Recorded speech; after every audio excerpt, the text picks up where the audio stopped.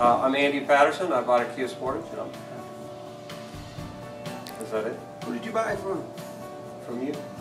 Elijah. Elijah. See you in the Kia.